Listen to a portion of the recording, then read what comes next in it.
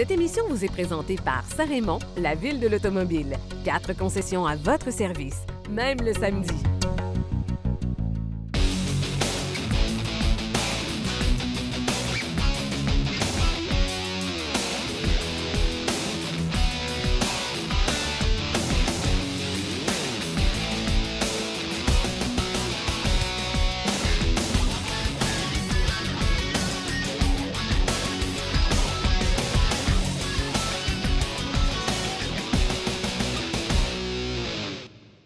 Bienvenue à Virage. Aujourd'hui à l'émission, nous allons vous parler de deux véhicules, Honda Accord version hybride ainsi que Toyota Corolla version à Hayon. On va aussi parler mécanique avec Jean Guiroy de DR9 Pneu Mécanique qui va être avec nous ici en studio. On va même le garder à la fin pour répondre à vos questions. 670-9078, poste 230 ou encore virage à ou via notre Facebook sont les façons de nous rejoindre. Salut Jacques. Salut Daniel. Comment ça va? Oui, ça va très bien, merci. Alors Jacques, euh, on a en studio Honda Accord version hybride. Euh, ça veut dire quoi, version hybride? Donc, euh, on connaît un peu le système hybride du côté de chez Honda. Alors, c'est très simple. On la couple avec un moteur euh, de 2 litres. Ça nous donne quelque chose comme 232 chevaux dans ce véhicule. Donc, c'est quand même beaucoup de performance. transmission type CVT, donc pas de surprise de ce côté-là non plus. Dans la nouvelle mouture de la Honda Accord, pour un mhm. véhicule comme ça, lorsqu'on achète une version hybride, on veut de l'économie de carburant. Alors, c'est autour de les chiffres donnés par Honda sont autour de 5 litres au 100 km. Donc, ville, route et 5,1. Donc, c'est 5 litres au 100 km pour une voiture de cette dimension-là. Euh, c'est quand même extraordinaire au niveau de l'économie de carburant. Euh, moi, je fais à peu près, là, je roule, je fais à peu près du 6,6, 6,3. C'est à peu près ce que ça va faire. c'est à peu près dans ces eaux-là présentement. La, réalité. Commence à faire pas chaud? Oh, il y a une neige, donc commence à faire pas chaud? Alors, c'est quand même pour une, voiture de cette dimension-là, c'est très bien. c'est ce qu'on recherche dans une, dans une voiture comme ça.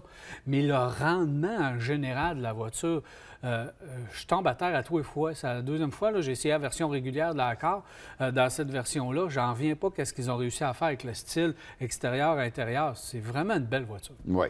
Moi, je pense qu'au niveau finition, bien, il faut dire que c'est la dernière ou dans les dernières qui ont été développées, qui ont été construites. Alors, on, connaissait par exemple Mazda 6 depuis plusieurs années mhm. qu'ils étaient là.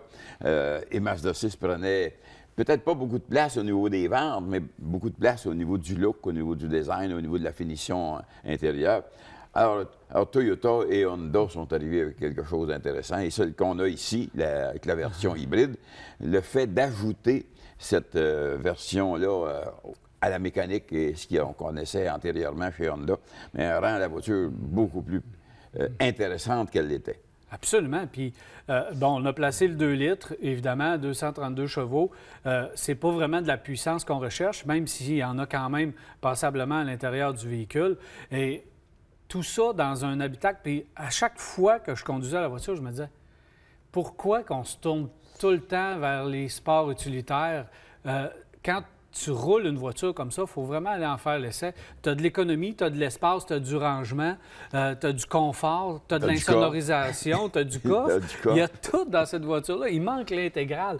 Puis bravo à Nissan qui sorte l'intégrale. J'espère que ça va mettre de la pression euh, du côté de ben Toyota, du côté d'Honda pour arriver aussi avec des tractions intégrales. C'est la seule petite chose qui manque pour nous ici au Québec pour avoir des voitures qui sont parfaites. Et là, l'industrie automobile veut abandonner ce segment-là.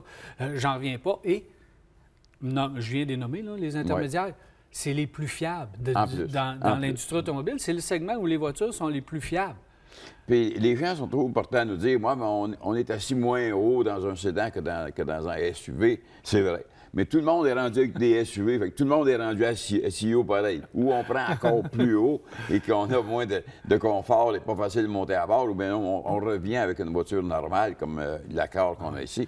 Ils sont tous en train de de, descendre le seuil euh, d'approche des véhicules. Quand tu vas embarquer dans un SUV, ils sont, sont, rendus pratiquement à terre. Tu es aussi haut dans un corps comme ça que, que, dans le CRV, par exemple, pratiquement. Absolument. Mais ce que, que les gens ont, voulu faire, c'est qu'on nous vend ces véhicules-là comme étant des SUV. La réalité, c'est ce que c'est que les Américains ne voulaient pas avoir, ce qu'on appelait des station wagons. Alors, on les a juste surélevés d'un pouce, un pouce et demi on nous a dit que c'était ah des. Tu as l'impression de sécurité, tu as l'impression d'espace, même si c'est pas vrai que tu as plus vraiment ben, d'espace à ben l'intérieur. Ben Et dans euh, le Honda, j'ai fait quand même pas mal de chemin. Puis c'est drôle, tu parles du Mazda 6, parce que j'ai débarqué du Mazda 6, embarqué dans celui-là, puis je me suis dit, ouais, c'est ça.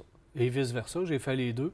Euh, je me suis dit, c'est ce segment-là qui est le plus intéressant présentement au niveau du rendement. Euh, la conduite, le véhicule, quand tu conduis, euh, t'es- il est stable sur la route. Vraiment, j'ai adoré. Euh, bien sûr, donc, dans la version hybride, on perd un petit peu d'espace, Ben- mais pas tant que ça. Puis au rapport qualité-prix, c'est 34 000 le prix de départ pour la Honda Accord hybride. 34 000. Ouais. Euh, Ce qui veut dire que ça t'emmène quoi? À peu près à 40 000 quand tu prends la version euh, totalement équipée? full équipe, tu es Bon. à 40-41 000. Donc, c'est quand même raisonnable pour la qualité de voiture que tu as. Et dans le segment, on, est, on a tendance à... Bon, il y a encore la Camry, mais là, euh, la concurrence n'est plus là. là. A Il n'y en a plus vraiment bien, bien. là. Fait que tout ça pour dire que euh, je comprends pas, puis je parlais avec les gens d'Honda quand je suis allé chercher la voiture, ça rentre pas pour les euh, Honda Accord hybrides. Ça rentre pas pour les véhicules hybrides.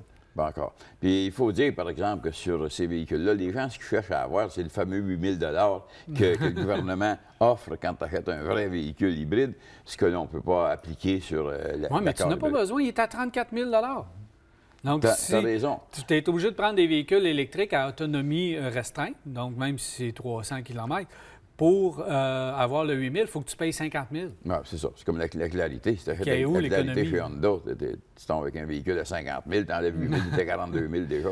C'est au même prix. Mais même pour la Clarity, ça, c'est le penchant. Bon, c'est l'accord, c'est quand même une voiture établie. La Clarity, on n'en voit pas tant que ça sur Non, le chemin on n'en encore. voit pas par rapport au prix. Ça Puis pourtant, c'est le véhicule idéal. Là, tu as 60...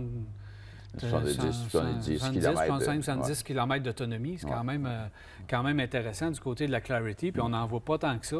Ah, moi, moi je n'ai vu une sur la route depuis, depuis un bout de temps, puis euh, on n'en croit jamais. Mais il n'y en a pas. Il n'y en a pas. Les, les- les gouvernements veulent qu'on ait des voitures électriques, veulent qu'on ait. Mais les manufacturiers ne suffisent pas à, à- à les fabriquer. Bien, il ne suffisent pas. Puis est-ce que la demande est réellement là au, au point où le gouvernement espère euh, ce genre de véhicule? Parce que des hybrides comme ça, c'est pas compliqué. là. Petit moteur électrique entre Ah le moteur et le moteur essence, ça devrait, au minimum, toutes les voitures devraient avoir ce système-là. Puis là, aujourd'hui, ça ne doit plus être coûteux. là, D'avoir ce système-là. là. Ça ne doit plus coûter grand-chose. La petite batterie, existe, ouais. petite batterie en arrière, un petit moteur électrique. Le système est facile à faire, c'est fiable, c'est durable. C'est dans les voitures les plus fiables et les plus durables de l'industrie, les versions hybrides. là. On parle à la fusion, on parle à cette voiture-là, ça, ça- ça dure longtemps. Alors, si vous cherchez une voiture économique, confortable, de l'espace, fiable, Honda Accord hybride. Accord hybride. On y va. Merci Jacques, on s'en parle tantôt. Voilà, on s'arrête à virage on va revenir.